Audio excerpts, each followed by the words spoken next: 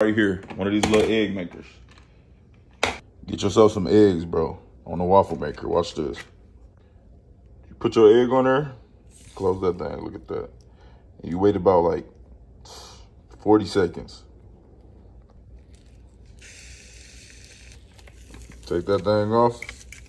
You wait about like a minute or something. You got a fully cooked egg, look at that. And you could just plug that right up into your truck and you'd be Gucci.